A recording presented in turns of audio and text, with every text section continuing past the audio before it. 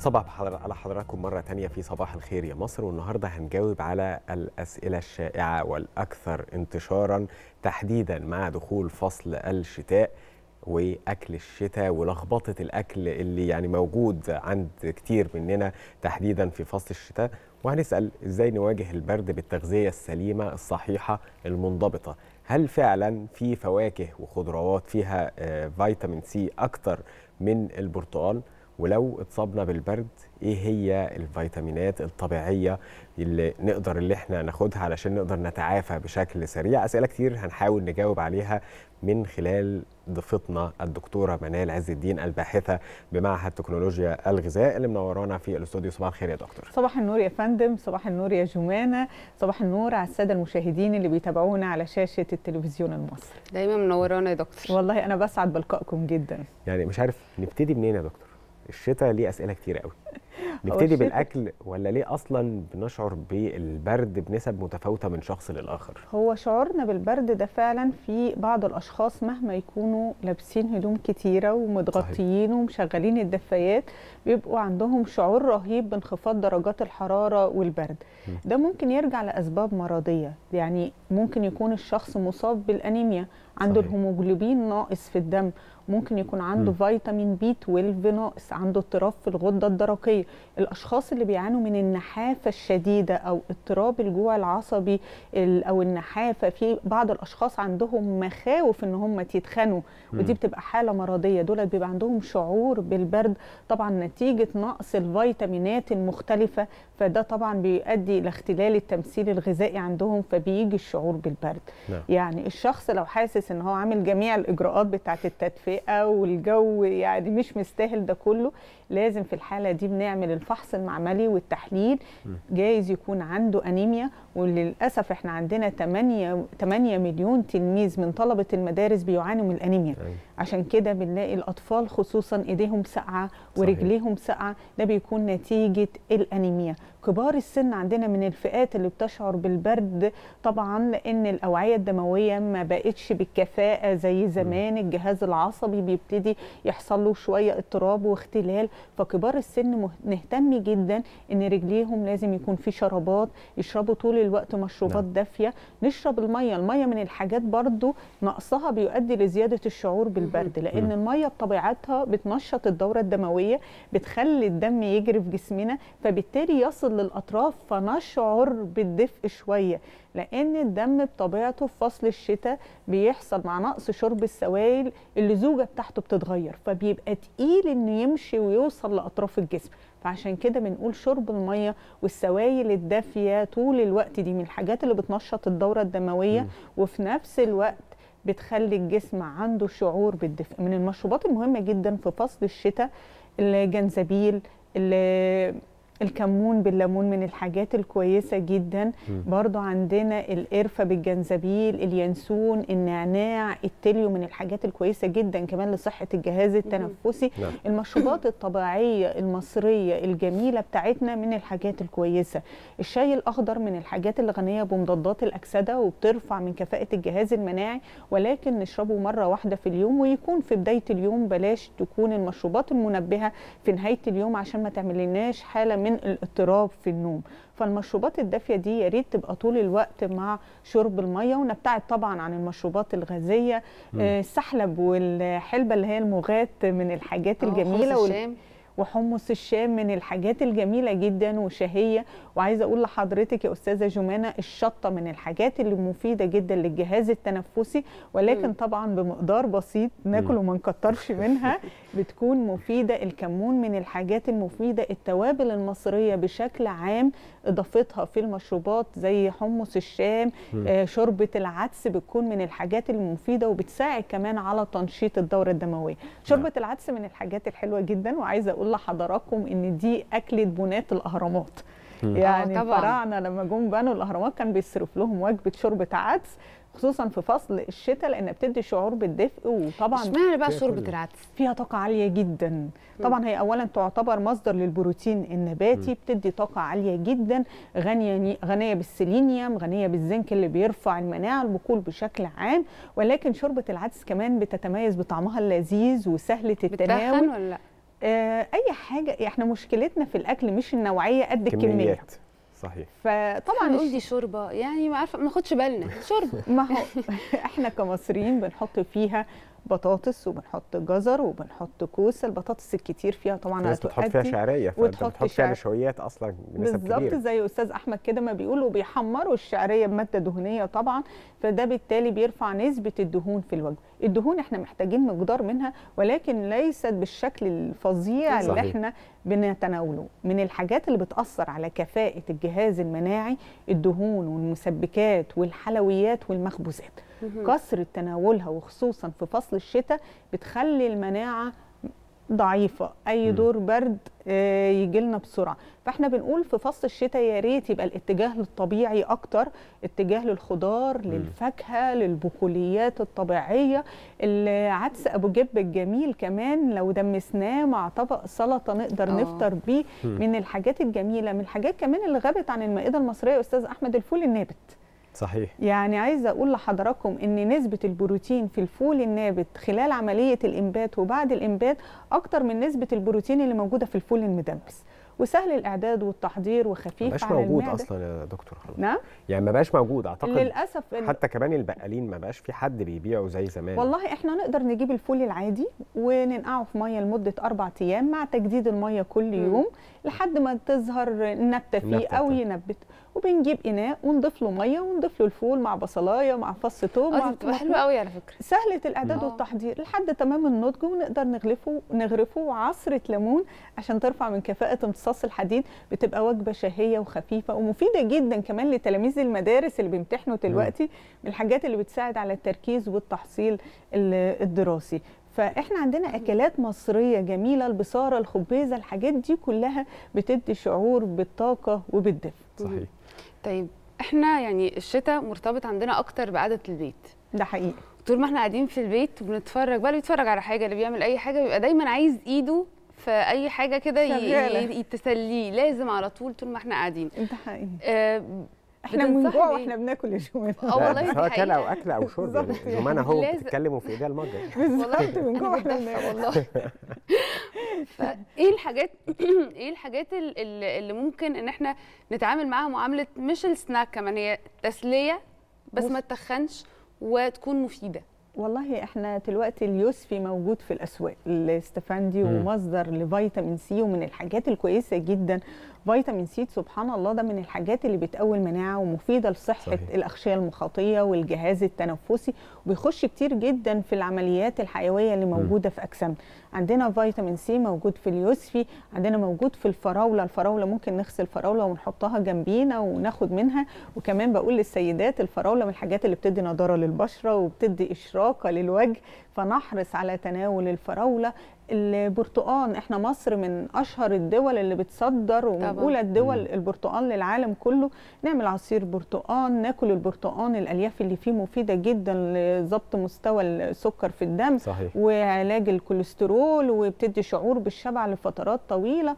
نحط جزر نحط خس نحط حاجات ناكل فيها. نعمل فشار. الفشار من اسالك الفشار آه طيب؟ الفشار ده من الحاجات الرائعة. بيتخن يا دكتور. لا يا فندم ما بيتخنش. لو عملناه بطريقه صحية. الطريقة الصحية نسبة زيت قليلة ورشة ملح خفيف. مم. ولا بقى نحط جبنة ولا كراميل ولا سكر ولا الحاجات العجيبه عشان بنبوظ أي حاجة ممكن تعمل diet بنت الحاجات دي فعلا بتفسد قيمته الغذائية. فالفشار عندنا من الحاجات سهلة الإعداد والسريعة وبتدي شعور بالدفء. من الحاجات الكويسة جدا زي ما قلنا برضو حمص الشام البطاطا. يعني ناس كتير هتستغرب إن أنا بقول البطاطا ما تتخنش لو خدنا ثمر. البطاطا آه بالعكس لا هي مفيدة جدا. ثمرة وممكن واحدة؟ آه تنفع وجبة بينية لع- لعامل لعشاق الدايت والرجيم. تنفع البطاطا لأنها غنية بالبيتا كاروتين. مم. يعني سبحان الله كل الأغذية اللي لونها برتقاني زي عندنا. البطاطا قرع العسل المشمش الجزر البرتقان غنية بالبيتا كاروتين. والجزر عندنا كمان من الحاجات المفيدة جدا. وزمان قالوا إيه؟ الجزر بيقوي النظر. الجزر يقوي بس دي النظر. معلومة صحيحة. اللي عايزة أقول لحضرتك إن المقولة دي ليها قصة كبيرة جدا وعايزة أقول لحضرتك كمان والأستاذة جمانة إن الجزر ده كان سلاح قوي جدا في الحرب العالمية الثانية اللي كانت في الفترة ما بين 1939 و 1945 طبعا كان في دول الحلفاء ودول المحور دول الحلفاء اللي كان منها بريطانيا وأمريكا والاتحاد السوفيتي ودول المحور اللي كان منها ألمانيا. حصل إن بريطانيا في الوقت ده امتلكت أقوى جهاز رادار على مستوى العالم. مم. كان جهاز رادار قوي جدا ما كانش مع الألمان أو الدول ال- المعادية. فبالتالي كل ما ألمانيا كانت تيجي تعمل غارة على بريطانيا بريطانيا بالرادار بترصدها بترصدها وتهاجم هذه الغارات وتتصدى ليها وتسقط طائرات من الألمان. فالألمان هيتجننوا دي الطيارات على مستوى عالي جدا. إزاي بيشوفوها؟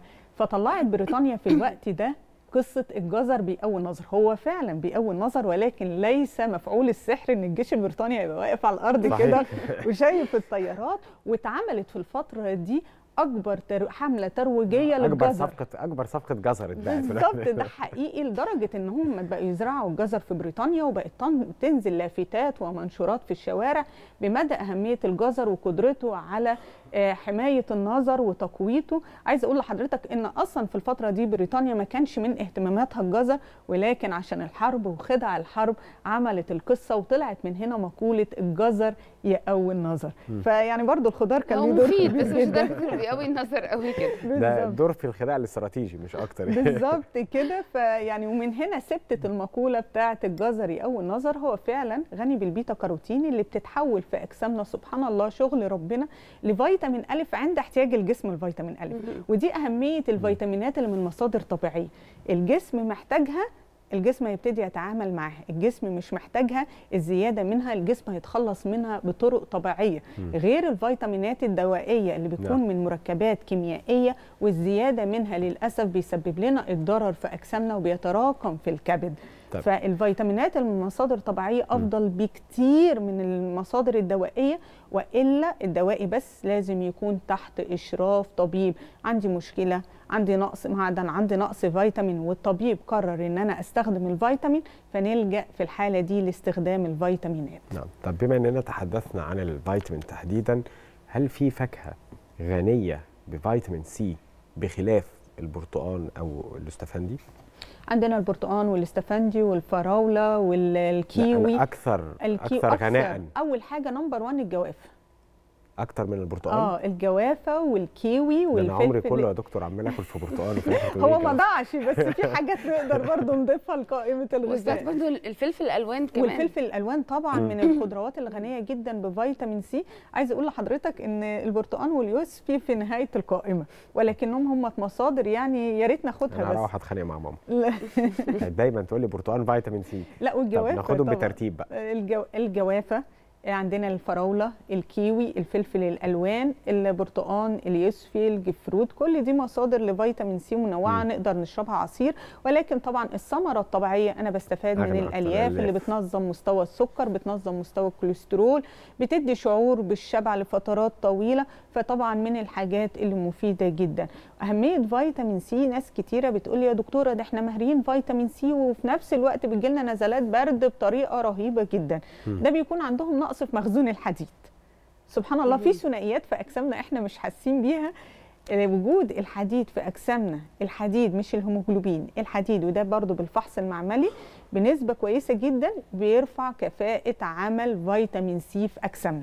فمهم جدا إن إحنا بناخد فيتامين سي ما يكونش عندنا أنيميا ومهم جدا لما ناكل مصادر للحديد نضيف لها فيتامين سي الاثنين بيكملوا بعض. طيب دكتور لو هتقولي لنا بقى كده على فطار حلو. آه وإحنا بنبدأ اليوم من البرد من أوله. معانا إيه. أحسن فطار. ممكن آه إن إحنا نحضره عشان يعني نبقى نازلين في الجو ده. وإحنا جسمنا متدفي. ولا وزي ما حضرتك قلتي المناعة كمان. المناعة. أنا الصبح مهم جدا ناخد حاجة دافية وتكون في نفس الوقت غنية بالمعادن والفيتامينات طبق بليلة باللبن. الحاجات الجميلة جدا. الشعرية الجميلة بتاعتنا كمصريين الشعرية باللبن. مفيش مانع لو طبق فول وعليه طبق بس سلطة. سعرات كتيرة قوي يا دكتور. لا هناخد فنجان صغير.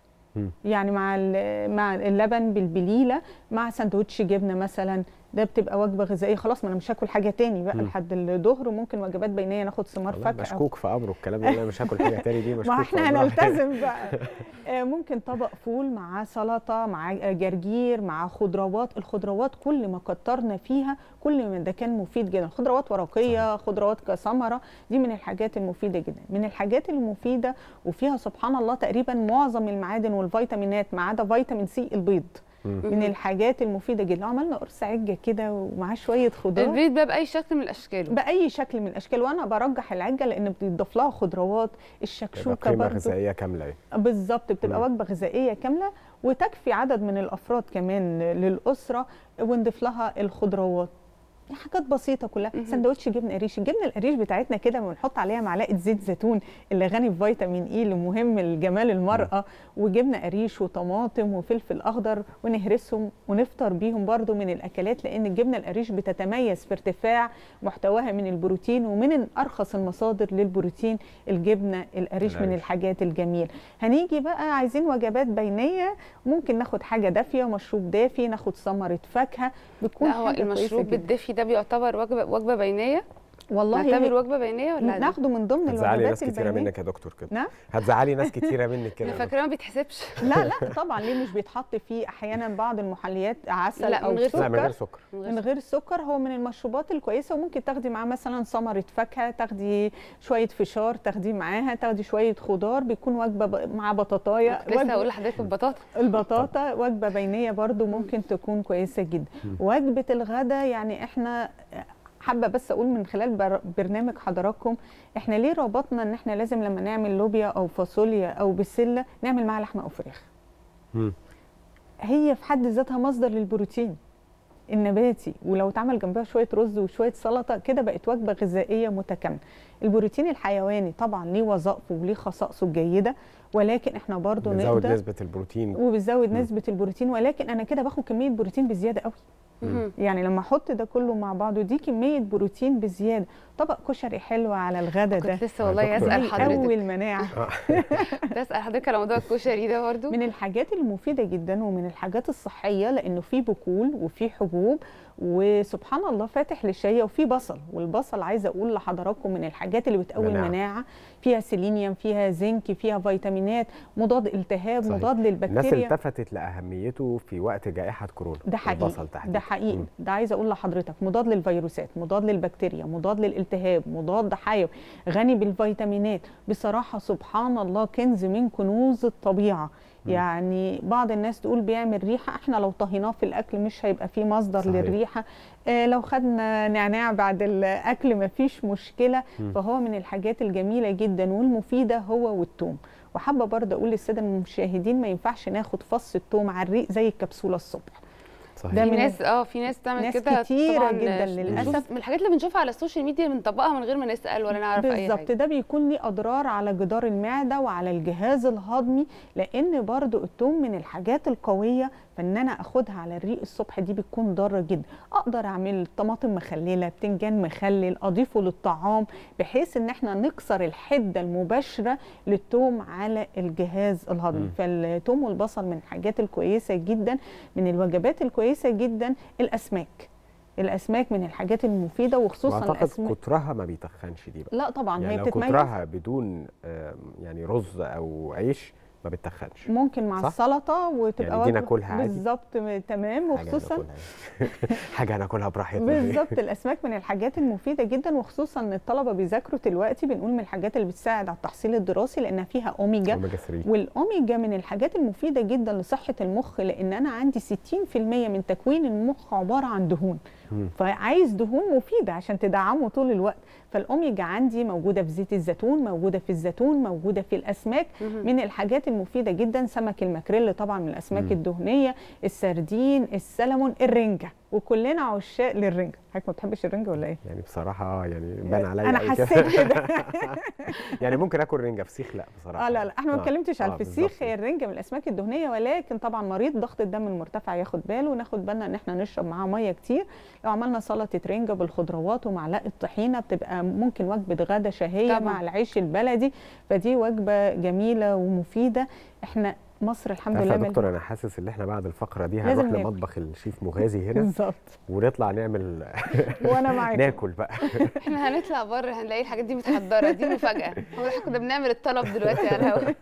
دكتور طبعا حضرتك نورتينا. وزي ما كنا بنتكلم يعني حاجات بسيطة جدا ممكن نقدر بيها إن إحنا آه، يعني نغذي نفسنا ونغذي نغذي جسمنا بحاجات صحية آه، من غير حتى ما يبقى فيها مجهود أو ما- من غير ما إن إحنا نتكلف بشكل كبير جدا. آه، زي ما دكتور منال قالت لنا ناخد بالنا من آه، الفيتامينز ناخد بالنا من الفواكه من الخضروات من الألياف بشكل كبير جدا. نشكر حضرتك جزيل الشكر طبعا دكتور. منال عز الدين باحث بمعهد تكنولوجيا الأغذية. نورتينا في صباح الخير. أهلا وسهلا بيكم شكراً لك يا سعداء سعيدة بوجودي معاكم وبجد بتبسط مع صباح الخير. سعداء والشرف لينا يعني. ميرسي. نورتينا يا دكتور. ميرسي.